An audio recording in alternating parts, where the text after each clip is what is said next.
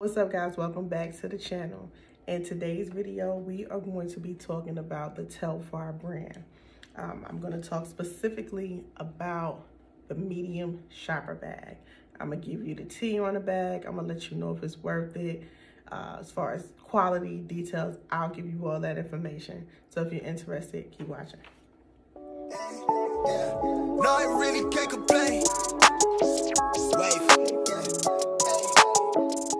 Okay guys, so again, we're gonna be talking about the Telfar medium shopper bag.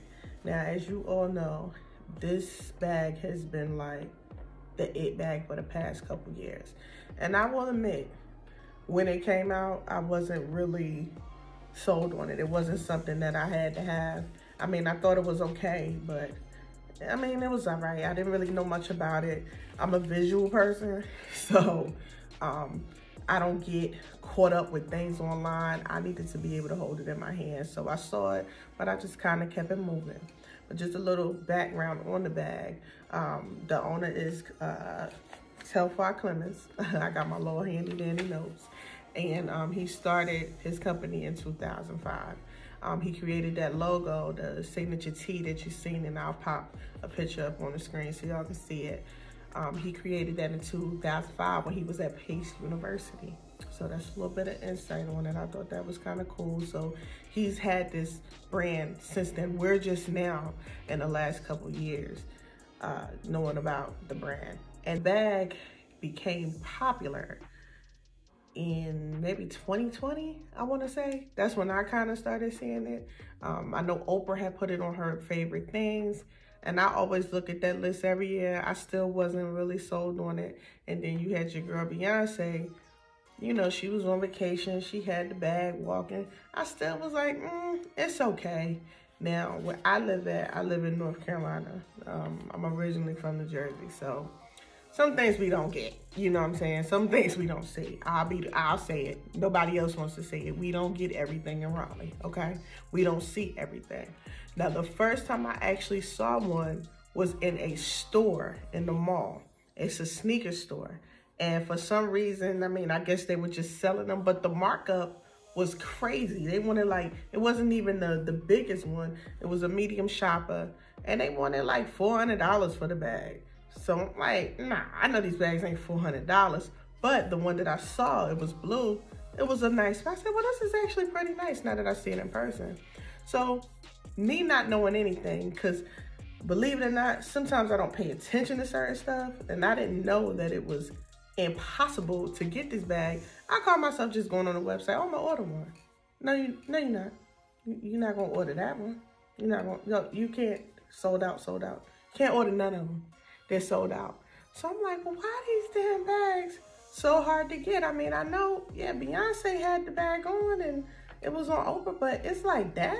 Like you really can't get it? So I started stalking the site. Like when I say stalking, signed up with an email. So they were emailing me every week trying to get this bag.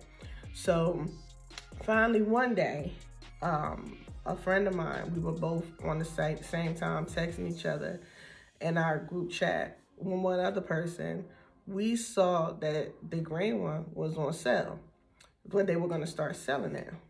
Okay, so we go on the site. I know I was on there at exactly 9 o'clock. She was on there at 9 o'clock. I got the bag, but she didn't. And I think I checked out at like 9.01. And by the time she checked out, it was 9.02. It was sold completely out. So the bag that I ended up getting that time was the green shopper. And I'm going to just show you real quick. This is the bag. It's the green shopper. And I mean, I actually like this bag a lot.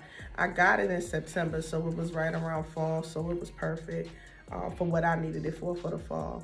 And I could essentially put any anything in this bag. Um, I like how this fits, like the straps fit. The straps are long enough. It fits really good. I'm plus size. I'm a thickums. So to me, the bag fits pretty good. also with the bag, um, it came a dust bag with it, which I thought that was kind of cool that it came with a dust bag. I, I really, not that it was black owned, but I really didn't have like the highest expectation of the bag. I mean, it wasn't an to me, in my opinion, it wasn't super expensive.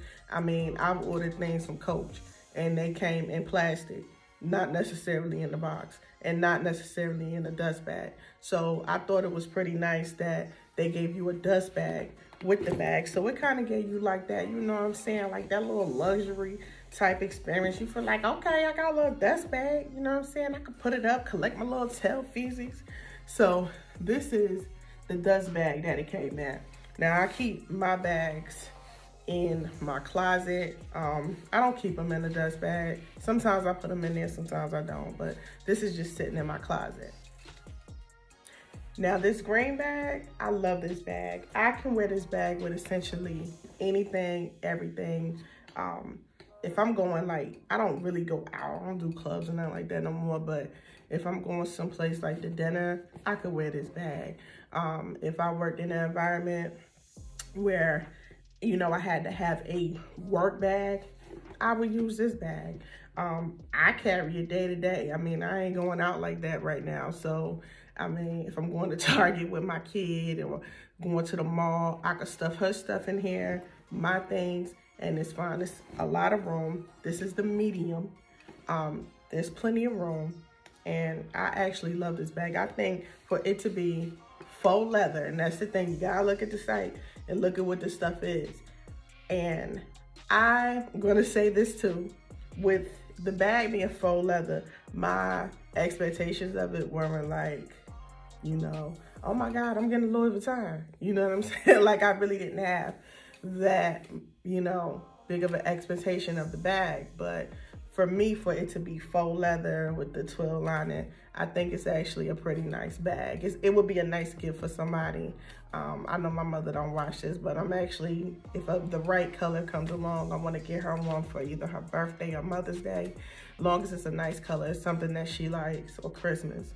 Because um, when I wore, when I actually wore this bag and I was with my mother, she really liked it. So I'm gonna, I plan to get her one, long as I can get the color and it's available. Okay guys, so my final bag I have from them, I only have two. Now, I feel like I only need two, but there are a couple other ones that I did see, a couple colors that I did see that I would like. Um, I bought this specific one for the summer. I thought it would be something I would want for the summer. I don't know what I was thinking, but um, I like gold or coppers and things like that. So I kind of was into that color. I don't know why. But my next one, I got that one through the Telfar security program. And the way that security programs work, this is just what I gather from it. the way that program works is he will announce, or the company rather will announce when that you can go on their website. And the last time they did it, I believe they did it for like three days. You can go on their website, you can purchase a bag, but you won't get the bag for like months ahead. So we got, my friend and I, we actually got that bag in October and we both received it in January, around January 15, 15th. And, you know, it, kind of made me feel a way that I had to do that because I'm just like, I don't like waiting for stuff. Like if I buy something, I want it when I buy it. But I don't know if they're doing that to keep the hype going. I don't know if it's a production issue. That part I don't know. But it was cool to do the program, but I didn't like waiting that long. I mean, two months, okay. You know what I mean? So we got it in October. We got it January 15th. I just wish we would, I could have got it a little sooner. Now this bag is my copper bag. I'm gonna show you this bag. This is how it looks. And this bag also comes with a dust bag as well. Same white cotton dust bag, nothing spectacular about it. Let me show y'all that. Same thing. See? That's it. But I will say this, and then I'm gonna go back to the bag. They come with these, they come inside of like a giant plastic Ziploc bag. I don't know why I like that bag, that little Ziploc bag. I know it sounds crazy, but I put so much stuff, like I'm a person that always has a lot of papers and crap or just always stuffing something somewhere, I love the plastic bag that it comes in. I don't know why. but anyway, so I have this copper bag and I have mixed feelings about the bag. Um, I think it's a nice bag. I do. I think it's really nice. It's the same with the straps. Um, the color is nice. I just feel like it wasn't made like the green bag. The green bag to me, that bag is a little bit more durable. To me, this bag, I feel like I have to be extra careful with it. I've only worn this bag about three, maybe three or four times. Every time I've worn it out, I always get a compliment on the bag. Somebody is always stopping me. How did you get that one? How did you get that one? Or, you know, just want to know about it. So I do like that part of it because it is different. You don't see people really walking around with copper bags. But my issue with it is the quality. I feel like it's just not as good of a faux leather material as the green one. So in the future, because I, I, will purchase again from Telfar. I mean, I don't have a problem with it. I think that it's a practical bag. I'm just at the point in my life where I need to buy things, not so much that is trendy. I mean, even though this is trendy, but to me it's practical. Like I can use it if I work somewhere where I needed a work bag or I could use it to go out with. I could use it as an everyday bag. I could use it to the mall. I took it with me when I, one of them with me when I went to Disney, the green one when I went to Disney World. So to me, it's practical in that sense. But I would stay away from the metallic looking ones. They do have one that is silver, I saw. And I believe they have one that's like a, a gold and I saw like some kind of blue metallic looking. I would kind of stay away from that. I just feel like I have to be careful with it. Like I'm gonna scratch it and the scratch is gonna show. So I really don't like that aspect of it, but it is nice, it is pretty. Um, it is a pretty bag, but I just wouldn't get anything metallic again from them. Now, in the future, I do want to try the smaller ones. I was a little against getting a smaller one. I am a bigger woman. so I'm like, that's not gonna fit around my waist or my shoulder. I, I, ain't got time for that. But I am seeing more people with it. I know it has the handles, but I don't necessarily carry my bags in my hand like that, not unless I'm carrying my speedy bag. And that said, everything else is just on my shoulder. Uh, I have a bunch of shoulder bags, except for the, the speedies that I have. Now, I do want to get an azalea medium. I am looking to get an azalea medium. And I saw a pretty blue, not the metallic, but like a navy blue. Um, if I were to do black, um, I would probably get it in the biggest one and use that one to travel with. Like if I was, you know, going on a plane, that would be a good carry-on bag. I would use it specifically for that. But other than that, um, I don't care for the circle, the round ones that they sell. I'll pop a picture up so y'all can see that too. I don't really care for that um, because I just don't like the shape of it. I don't like round bags like that. Kind of reminds me, I think it's a ho of a hobo bag and I don't really care. I, I actually have some older hobo bags. I have an older Marc Jacobs older hobo bag. That's the only one I have. And I'll never get rid of it because I like that particular bag, but um, I don't like how that bag is shaped, so I would probably never get that. I have a collection with UGG, and those bags are really nice, and they're medium shoppers as well, and it's made with the UGG material, so those are really nice. They actually have another section, I think it's called Mongoose or Goose Knuckles. Girl, I, I can't remember the name of it. I will pop a picture of that one up as well.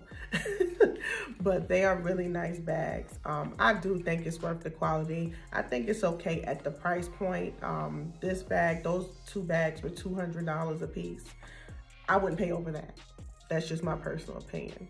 Um, the smaller one, I feel like the smaller one should be a little bit cheaper than $150. Um, it's really, really small. I've seen one in person and I'm like, that damn, that's $150? I feel like it should be a 100 That's just my opinion. But, you know, that's what he wants to set his price at. You know, that's what it is. I mean, if you don't, you can't get one, most people are going to just go on, you know, go to a reseller or, you know, try to find one online somewhere else. So, you know, that's the price that he has it set at. But me personally, I do think for that small one, $150 is is a lie. I think he could come down a little bit more. That's just my opinion. Okay, guys, that concludes our video today. Thanks so much for coming by and watching this video. Don't forget, like this video, subscribe to the channel, hit that notification bell, okay? So you can be notified when I upload content. Also, let's engage down below. Let me know if you have any Telfar bags, how you feel about the brand, and if you plan on ever purchasing any bags if you don't have any. Also, don't forget to go over to Instagram. Follow me over there. All my pages will be linked below. Thanks so much for watching. Peace and blessings.